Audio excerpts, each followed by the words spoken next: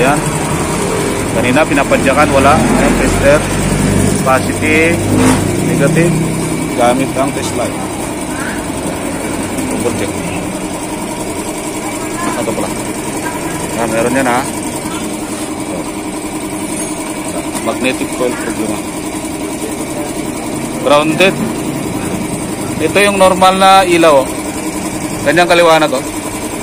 Pag ito to boss, yan oh. Meron siyang ilaw kakaunti. Ayun oh. Grounded. Dapat ganito kalakas ilaw niya. Sabihin, Tapos palakas ng palakas oh, lumakas ulit. Pwedeng sunog yung coil. Ganon. Okay. Pabaklasin na natin. Para makita nyo ang actual. Ayan. Ano nakita natin? Ito. Pasimula pala. Diba? Bye.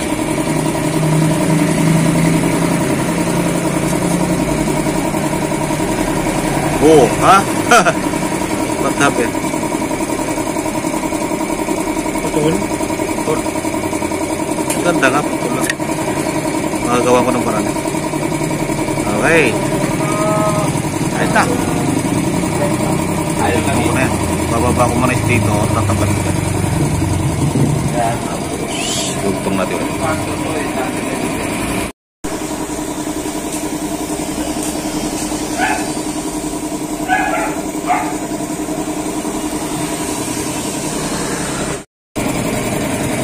Ayan, tapos na. Testing ko na yan. Testing ko na yan, umilaw na yan. Tabay. Ah.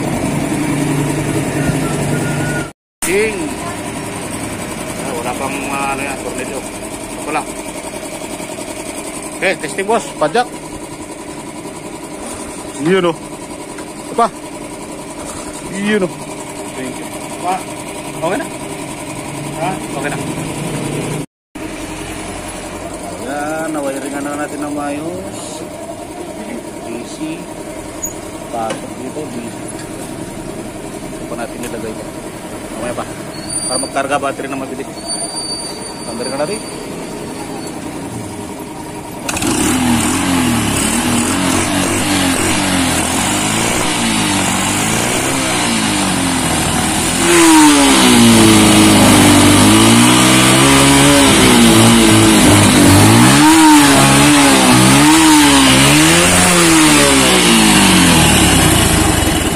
Wala. Ito, ilalagay sa accessory wire. Ito malapit.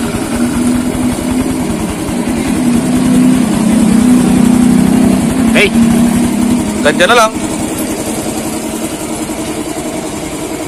Pangalawa ngayong umaga ang napaandar natin motor.